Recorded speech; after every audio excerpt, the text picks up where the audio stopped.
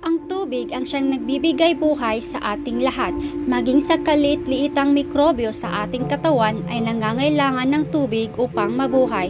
Ngunit ano ang iyong gagawin kung ang tubig na ito ay magiging sanhi ng iyong kapahamakan? Kaya naman samahan niyo ako upang ating tuklasin ang labing limang pinakadelikadong tubig sa buong mundo. Bago po tayo magsimula ay huwag pong kalimutang mag-like at mag-subscribe at i-click na rin ang notification bell. Number 15, Romney Marsh. Matatagpuan sa bansang England. Ang Romney Marsh ay kilala dahil sa ganda at kahali-halili nitong mga simbahan. Ang makulay nitong nakaraan, dito rin matatagpuan ang ilan sa pinakalumang pamayanan sa bansa. Maging ang mga simbahan ay saksi rin sa pinagdaanan ng lugar na ito. Ngunit binabalaan ang mga turista na kung nais libutin ang makasaysayang lugar na ito ay dapat manatili lamang sa tuyong lugar at kahit anong mangyari ay umiwas sa kahit na anong tubig dahil kung sino man ang sawing palad na malulublob sa kahit na gatalampakan lalim na tubig, sa pag-aho nito ay magugulantang na ang kaniyang talampakan ay kinapitan na ng di mabilang na mga litrato. 19, Blue Hole, matatagpuan sa Dahab, Egypt. Sa pangalan pa lamang ay akalain na na isa itong paraiso, ngunit huwag padadala sa pangalan nito. Ang Blue Hole ay isa sa mga pinakadelikadong lugar para sa mga diver sa buong mundo. Ang butas na ito ay isang kuweba na may lalim na 400 feet. Hindi na mabilang ang buhay na kinuha ng butas na ito. Kaya naman isa pa sa katawagan sa Blue Hole ay ang Diver Cemetery. Ilan sa mga kadahilanan ng kanilang pagpanaw ay ang nitrogen narcosis o yung tinatawag na kakulangan sa hangin sa oras na ang driver ay nagtangkang umahon. Number 13, Lake Michigan. Hindi lamang ang Bermuda Triangle ang mayroong tila ba kakaibang pangyayaring nagaganap. Ang lawa sa Michigan ay responsable din sa mga hindi mabilang na pagbagsak ng mga eroplano at ito ay hindi maipaliwanag. Ang ilan sa mga ito ay ang Flight 2501 na ituring na isa sa pinakagrabing plane crash sa kasaysayan. Ito ay ikinasawi ng 58 na pasahero. Magpasa hanggang ngayon ay hindi pa rin nakukuha ang mga pasahero kasamang lumubog ang eroplano. Napakadelikadong uri ng tubig ang lawa na ito dahil biglaan na lamang nanghahatak ang current nito sa ilalim kaya naman marami din ang nalulunod dito. Number 12, Bermuda Triangle. Bibihira lamang ang mga taong hindi nakakaalam sa kwento ng Bermuda Triangle. Makikita sa dagat Atlantiko, nahahati sa estado ng Miami, maging ng Bermuda ng bansang Puerto Rico. Sino ang makalilimot sa napakaraming misteryosong pagkawala ng mga sasakyang panghipapawid, maging ang mga sasakyang pandagat sa lugar na ito. Ayon din mismo kay Christopher Columbus, ang taong nakatuklas sa bansang Amerika na sa tuwing daraanan niya ang lugar na ito ay ang kanyang kompas ay tila ba nagluluko. Magpasa hanggang ngayon ay wala pa rin konkretong paliwanag kung bakit tila ba ang Bermuda ay isa sa pinakamahiwagang lugar na hindi kayang ipaliwanag ng ating maunlad na siyensya. Number 11, Lake Kivu. Isa ang lawang Kivu sa pinakamalaking lawa sa bansang Afrika. Kung titingnan ay tila ba normal na lawa lamang ang makikita. Ngunit sa ilalim ng magandang lawang ito ay may patong-patong na carbon dioxide na 55 bilyong cubic metro. Matatagpuan din dito ang methane. Ang methane ay ang gasol na ating ginagamit sa ating kalan sa ating pagluluto. Kaya naman napakadelikado nito dahil kahit na ang isang mahinang lindol ay tumama sa lawang ito ay maaaring maglikha ng tila nuklear na pagsabog na maaaring kumitil sa buhay ng napakaraming taong nakapaligid sa lawang ito. Number 10, Dead Sea. Sinasabi nila na imposibleng malunod sa Dead Sea dahil nga sa alat ng dagat na ito. Ngunit ito ay nangyayari lamang kung ikaw ay nakatihaya. Kung sakaling ikaw ay di sinasadyang tumaob at imposible na rin ang pagtihaya, kaya naman ito ay magiging sanhi ng iyong pagkalunod. Kaya naman ipinagbabawal ang paglangoy dito na hindi nakikita ng lifeguard. Number 9, Lake News. Matatagpuan ang lawang ito sa bansang Afrika at naitanghal na isa sa pinakadelikadong uri ng katubigan sa buong mundo. Ito ay sa kadahilanan na ang lawang News ay literal na sumasabog, kaisa-isang lawa sa buong mundo na sumasabog dahil sa ilalim nito ay matatagpuan ang magma o yung tinunaw na bato na naging lava. Isama pa dito ang carbonic acid. Noong taong 1986 ay naglabas ang lawang ito ng hanging carbon dioxide na kumitil naman sa buhay ng 1,700 katao at 3,500 na mga alagang hayop. Number 8, Lake Champlain.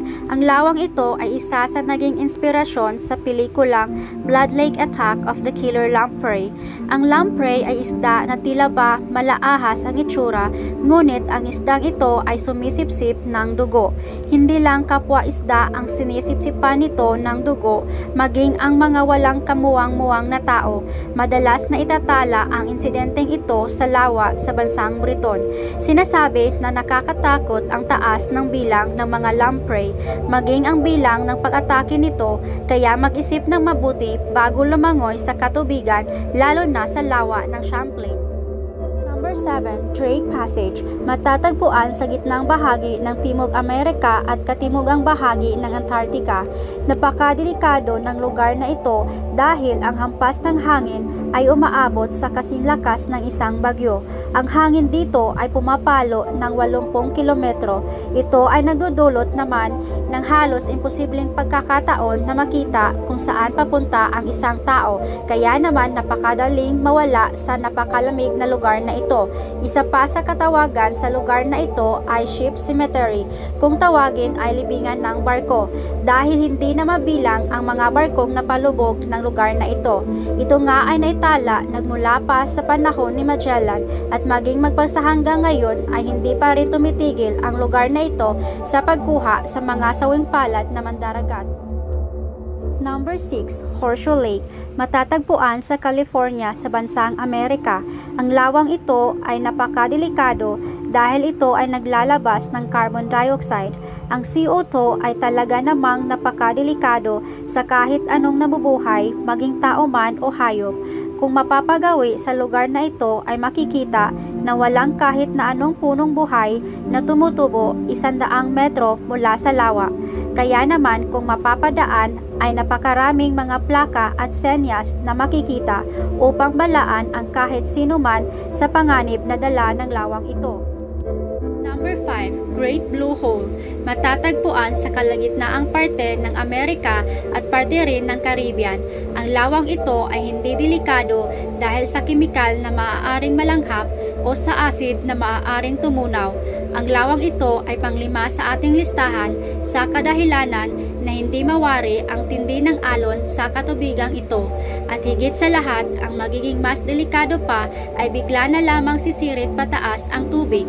Ang lalim nito ay halos hindi rin masukat, ngunit ganun pa man ang Great Blue Hole ay dinarayo pa rin ng karamihan sa angkin nitong kagandahan, lalong-lalo na sa mga taong mahilig mag-dive. Number 4, Rio Tinto. Matatagpuan sa bansang Spain. Ang tubig na ito ay nagtataglay ng purong tanso at maging ng iron. Nagkaganito ang tubig na ito sa matinding paghukay sa paligid nito. Maaaring bisitahin ang ilog na ito, ngunit mahigit na ipinagbabawal ang paliligo rito. Napakarami ring bakterya ang makikita sa tubig na ito. Kaya naman, ang tubig sa ilog na ito ay halos kulay pula kakulay ng tanso. Number 3, Lake Natron. Walang kahit na anong klaseng hayop ang nabubuhay sa lawang ito. Ipinagbabawal din ang paliligo rito. Ito ay sa kadahilanan na ang temperatura ay 48 degrees Celsius ang init. Nababalot ng tila asin ang ibabaw nito. Ang pH level dito ay 10.5. Kaya naman, walang kahit na anong nabubuhay sa lawang ito. Ito ay matatagpuan sa Tanzania. Kaya nitong tunawin ang balat maging ang balahibo ng sawing palad na hayop na maliligaw at maliligo rito. Ngunit sa kabila ng lahat ng ito ay tila hindi naman tinatablan ang mga ibong tinatawag nilang mga flamingo. Kaya naman ito ang isa sa kanilang napiling maging tambayan. Number 2, 2. Jacob's Well Matatagpuan sa Texas sa bansang Amerika, ang Jacob's Well ay hindi isang ordinaryong balon na itanghal na isa sa pinakadelikadong diving cage sa buong mundo. Ang Jacob's Well ay natural na nabuo. Ito ay tatlong talampakan ang bunganga. Sa oras na makarating naman sa ilalim nito ay makikita ang salasalabat na mga napakalaking mga kuweba. Napakarami ng buhay ang kinuha ng balon na ito. Sa ilalim nito ay makikita ang karatula na nagsasabing, Tumigil, iwasan ang iyong kamatayan, huwag na magpatuloy. Ito ay babala sa mga driver dahil ang balon na ito ay naging sanhi ng mga hindi na mabilang na mga drivers na kahit kailan ay hindi na umahon mula sa Jacob's Well. Number 1, Boiling Lake. Ang lawang ito ay matatagpuan sa Dominican Republic sa isa sa kanilang natural park. Pangalan pa lamang ay malamang na hulaan nyo na kung bakit ito ay isa sa pinakadelikadong uri ng tubig sa buong mundo. Mahigpit na pinagbabawal ang paglangoy o paglapit sa lawang ito. Ang masaklap, ang lawang ito ay hindi mo mapapansin na kumukulo. Ito ay dahil may panahon na ito ay payapa at malamig ngunit walang sinyal senyales at walang badya at biglaan na lamang ito ay kukulo. Sa init na naitala na 91 degrees Celsius, ang pagkulo nito ay dahil sa mainit na hanging inilalabas ng lava na malapit mismo sa bulkang katabi nito. Kaya naman kahit na anong mangyari ay pinapayuhan na huwag lumapit at maligo sa napakadelikadong boiling lake. Ang ating kalikasan ay talaga namang napakaganda, nakamamangha at napaka-misteryoso. Atin pong ingatan ang ating kalikasan upang ang mga sumusunod na henerasyon ay may pagkakataon pa upang ito ay masilayan. At yan ang labing lima sa pinakadelikadong tubig sa buong mundo. Maraming salamat sa inyong panunood. Huwag pong kalimutang mag-like at mag-subscribe at i-click na rin ang notification bell para updated ka sa mga bagong videos na i-upload ni Bibisita.